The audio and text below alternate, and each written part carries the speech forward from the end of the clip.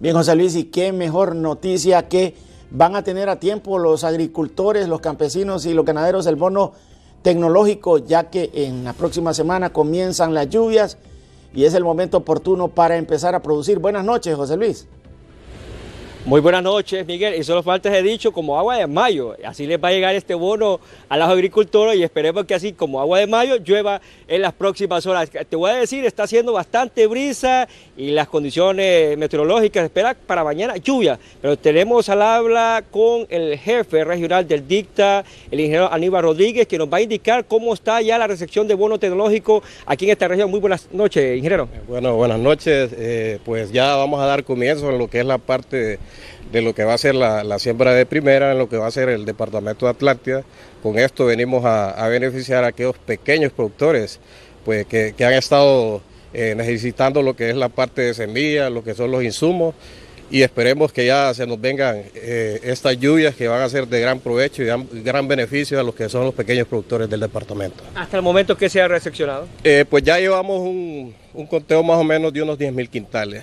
Ya solo estamos a la espera de lo que es el reseccionamiento de lo que es la semilla y lo que son los kits fitosanitarios para una vez ya tener lo que es la semilla y los kits, pues ya dar comienzo a lo que va a ser la, parte de entrega, lo que va a ser el bono tecnológico, pues podemos hacer mención también de que este bono eh, pues se va a implementar lo que es la parte de, asistencia técnica, lo que van a ser las escuelas de campo, las ECAS, y en las cuales los ingenieros agrónomos, de parte de lo que es la Dirección de Ciencia y Tecnología Agropecuaria y lo que es la SAC, eh, les van a dar el seguimiento. Una vez se les entregue el bono tecnológico a, esos pequeños productores, pues se les va a dar el seguimiento, el, acompañamiento técnico eh, de lo que es la parte agrícola. ¿De cuántos beneficiados, beneficios van a ser este primer trimestre? Pues está contemplado, está en lo que son 6 mil bonos tecnológicos.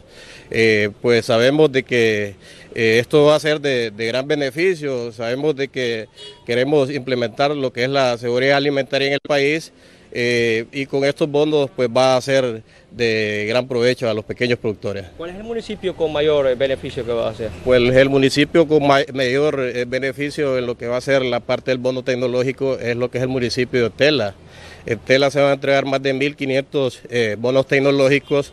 Sabemos de que son, es un lugar productivo y que realmente va a ser de gran provecho y de gran beneficio a aquellos pequeños productores que siembran la tierra en el departamento de Atlántida. ¿Se mantiene las mismas personas que van a recibir el bono o se ha hecho cambios por algunas inconsistencias? Por parte de lo que es la Secretaría de Agricultura y Ganadería y lo que es la parte de Dirección de Ciencia y Tecnología Agropecuaria Dicta, se implementó lo que es el censo agrícola del bono tecnológico con esto eh, se censaron a esas 6.000 personas que se les va a dar el beneficio de lo que es el bono tecnológico para una vez ya tener complementada y registrada a esas personas que van a tener beneficio y puedan aprovechar lo que es el mismo. ¿Cómo se escoge? ¿A un obrero, a un agricultor? Eh, se escoge mediante lo que es la, Secretaría de Agricultura y, lo que somos nosotros como dicta, pues se levanta eh, censos mediante los ingenieros agrónomos por parte de dicta y en la cual eh, por medio de un sistema se les va dando, eh, se les va anotando y se va registrando eh, para lo que va a ser el beneficio, ya ahorita lo que va a ser también lo que es la parte de, la siembra de primera. Imagino que tiene que ser agricultor, que tiene que tener parcelas de tierra. Pues está contemplada que para poder tener este beneficio en lo que es el bono tecnológico productivo, el pequeño productor tiene que tener de una a cinco manzanas máximo para que pueda tener este beneficio y también que no, que no queme, que no queme la, eh, tierra y en la cual pues eh, es lo que se necesita para poder tener lo que es el bono tecnológico. Hablando sinceramente, ¿se depuró alguna persona, algún agricultor en los municipios de Atlántida que no cumplió con los requisitos que ustedes exigen en el 2023? Pues mire, eh, por lo mismo se le, se le, está implementando lo que es la parte del censo agrícola, lo que es el bono tecnológico. Con esto nosotros ya vamos a un mejor control de esas personas que se les está asignando el bono tecnológico.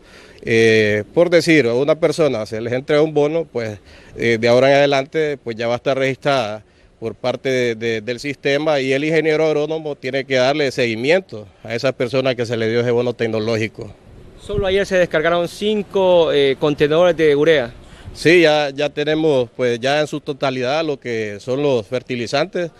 Eh, en lo que son las bodegas de Copeco ya contamos con eh, casi 10.000 quintales de, lo que son eh, Fórmula 12-24 y también lo que es la urea y ya solo para esperar lo que va a ser lo que es la semilla y lo que son los fits, los sanitarios para lo que va a ser la entrega del bono tecnológico. ¿Fecha de entrega? Pues ya está contemplado eh, un promedio de, aquí al 15 del mes de junio, ya poder dar comienzo a lo que va a ser eh, lo que es la siembra de primera.